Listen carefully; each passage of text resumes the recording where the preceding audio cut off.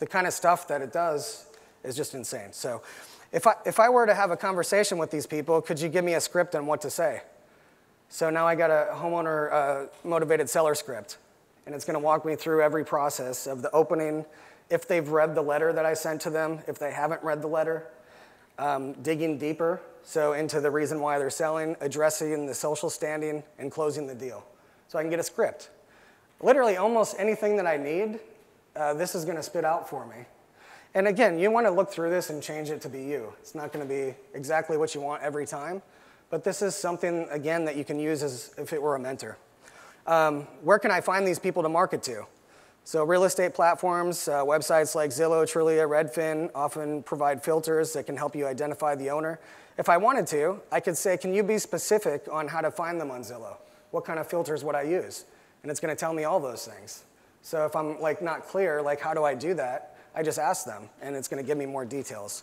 Um, Facebook and Reddit have local real estate groups. Join these and keep an eye out for sellers saying that they need to sell. Online forums, SEO and pay per click, retargeting ads, uh, local newspapers, public records.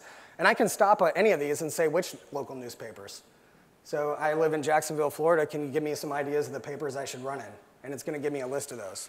What should I put in the newspaper? It's going to give me the ad. And I'm going to show you how to pull the actual ads on how to create those with the click of a button as well.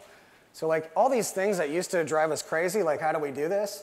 Now it's just a click of a button. So yes, you do have to kind of understand the technology, but once you know how it works, it's, it's push button. It's what we kind of joke about what we always wanted is push a button and you have it. It's here now. You just need to understand what it is and how to operate it. So um, this, I, I, did it. I, I, so I broke down, if I were to run on uh, radio ads to target these motivated sellers, which radio stations would I run on, run on? And so it's given me an idea for this crowd, like classic rock and oldies, country radio, talk radio, um, financial news stations, local community stations. So it's trying to figure out how to target the exact person that I was talking about. Then I can dig deeper. If I lived in Jacksonville, Florida, what radio stations would be the best to run on? It's given me the, ex the exact radio station if I tell it, uh, you know, which, what are the advertising rates or which um, stations allow advertising, it's going to give me a list of those. So you just keep refining it to get down to the exact detail of what you want. Um, so like what keywords would I use to target motivated sellers on Google Ads? High intent keywords, sell my house fast, quick home sale, cash for homes, we buy houses for cash, sell my uh, house quickly.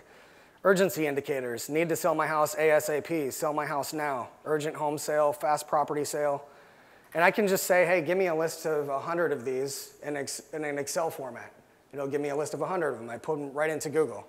There's negative keywords in Google. I can say, give me a list of uh, 200 different negative keywords, which means like we don't want to show up for stuff like realtor. It'll give me a list of all the stuff we don't want to pop up for.